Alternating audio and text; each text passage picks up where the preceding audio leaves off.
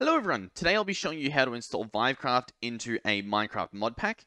Um, currently, some of the mods are a little bit incompatible, so I'll show you how you can uh, find out which mods are incompatible and how to fix those as well, um, for the most part. So the first thing you want to do is download Vivecraft itself. Uh, this won't be linked in the description because I've been having issues on YouTube with links, but it is vivecraft.org forward slash downloads. You should be able to find it. Um, you scroll down here to the current versions. Um, in the future, it might be in the older versions, but for now, this is where we're going to go for. For this example, by the way, I'm going to be showing you all the mods 6, since that's a pretty big mod pack at the moment. It has a bunch of mods, and it's pretty up to date, so as long as it works, in, theory, most other mod packs should work too. Um, we're going to click on this one right here, Vivecraft 1.16.x. So this one right here, you can see it's for the VR client. Over here, I'm going to click on that. Now, once we click that, we'll be sent over to this GitHub page, what you want to do is just scroll down. We can see Vivecraft 1.16.5. That's our Minecraft version. And it's version 7. It's not version 1.17. So we'll scroll down. And this one right here is what we want. Vivecraft-1.16.5 jrbudda 7-6-installer.exe. Now, I can install this because I'm currently signed in. If, if it's not letting you download, you might have to make a GitHub account. But we're going to click on this, and it should start downloading, I think. Yep, here we go. I can go ahead and click Save. Once that's downloaded, before you even try to fix any incompatibilities, you can go ahead and install it. So I've got it right here, this uh, installer. I'm going to double click on it, and that should run it. You can see we've got this window here now. Um, select path to Minecraft. We're going to leave that completely the same, even though we're installing to a mod pack. Um, we're going to install Minecraft with Forge, and now we need to figure out what Forge version we need. So what we're going to do is go back into CurseForge. We're going to left click on our mod pack, and then right here, we can see our Forge version. So ours is 36.2.8. This will likely change in the future as well. So you can always check back here to see what version we're at. So we're going to go back into our installer here. We're going to click custom version, 36.2.8. I believe that's what it is. We can double check. I'll drag it over here. Yep, 36.2.8. Okay, that's good. The next thing we're going to do is, I guess we'll allocate 8 as much as it will let us because ATM6 is a pretty beefy mod pack. Um, we can go ahead and change this custom name to um, ATM6 um, Vive, just so that we know that we've got the right one here. And then modpack directory, we want to tick this, and that's when we need to go back into CurseForge. We can go back here, right click on our modpack, click on open folder. Then at the top here, we want to click on this bar so that we get all of this highlighted. We want to right click that and copy it. Then we want to go back into our installer, click these three little dots here. Then you can go ahead and paste it right here. So you might have to use the control V command actually paste it in because it won't actually let you right click in here, but control and V at the same time will paste this. We can click open and that there we can see instances, all the mod 6, ATM 6. We can look instances, all the mod 6, ATM 6. We should be good to go. Um, these ones you can pretty much ignore unless you happen to have like a treadmill uh, thing. I think that's the, the VR thing that you run on to move. Anyway, we can just go ahead and click install. Please ensure you have closed the Minecraft launcher before proceeding. That, as far as I'm concerned, is not the CurseForge launcher. It is the vanilla Minecraft launcher. So make sure you do not have the vanilla Minecraft launcher open. And we're going to click OK. Successfully installed. So I believe what that did just then, it's going to be longer for you if you're doing this for the first time. But that went ahead and downloaded and installed Optifine.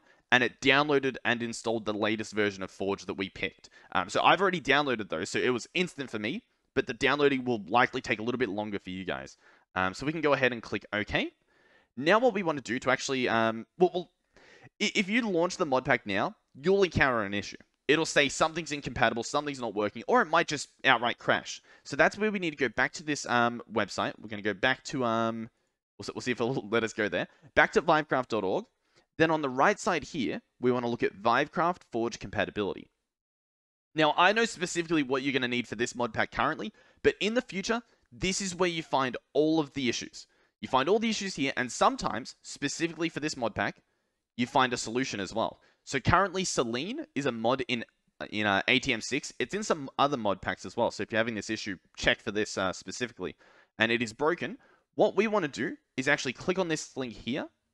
And I believe that'll give us a download. We want to get this mod. Make sure you save it somewhere that you can remember. All right, so then we want to go back into CurseForge. We're going to right click on this again, open the folder again for our mod pack. So we're in the right mod pack, ATM6. We want to go into the mods folder. So we're going to open this up. Then we're going to look for this incompatible mod. So for this example, it is the Selene mod. So you can obviously search for it, or you can just scroll down, whichever's easier for you. Um, Selene is right here. Now you can go ahead and delete that. It's gone. Finished. Deleted. magically gone. Then what we want to do is get this new one that we downloaded, and we want to go ahead and put that into the folder. So we're going to drag that in, move it in, and there it is. It's in the folder. That That is it. We should, in theory, be good to go now. Um, now, what you go ahead and don't do is launch it from here. You don't do that. You need to load up the actual vanilla Minecraft launcher. So already, by the way, let me just go ahead and say you should be good to go now. If you were just here for ATM 6, you, you should be good. You should be able to launch the game. It should all work. Um, I'm going to go ahead and launch it, show you exactly what to do. So we can see down here, ATM 6, Vive, Vivecraft Forge. If you need a different version, you can click here and try to find um, the actual one. So obviously, I've got... Oh, I'm scrolling around the whole thing. This is a bit weird. Um, I've got this one here, ATM 6 Vive. That's the one that we just installed. We called it something different. You can see these other ones I had named differently and we're going to go ahead and make sure it's selected. We're going to click play. We need to make sure that we have Steam VR open and on, as well as our, you know, our VR headset on as well. Um, we're going to click play. We understand the risks playing with mods. Well, if you don't, I guess maybe you shouldn't tick that. But if you understand the risks, which is, I don't know, you're going to have too much fun, go ahead and tick that. And now the game will launch. Now, it'll take a little while because, I mean, not only is it VR, but it's also a mod pack. This is normal. After a little bit, you should see the VR version. It should, once again, take a little while to load. You can actually put on your headset while it's loading and look around. What I will say is try not to click anything. Don't click on the program a bunch with your mouse. Don't click on it with the triggers um, in your VR as well, because it can crash while it's loading. Your best option is to just let it sit. Genuinely, just just let it sit. You can go into other stuff. You can load up YouTube, watch some videos, but just let it sit while it loads. Oh, here we go. I believe this might be the VR one. I, a- anyway, you'll you'll see it in a second. Okay, so as you can see, my mic quality has gone down because I'm now using the VR headset. And if we look down there in VR, you can see it's loading. Um, so you can see all the details there.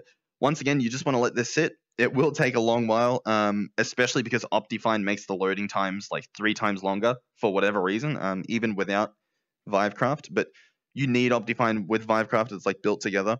Um, so we're going to wait for this to load. I'll show you as well, even with changing that mod, you can actually still play on servers perfectly fine. Um, I host a server with my community. If you want to join, a little plug there.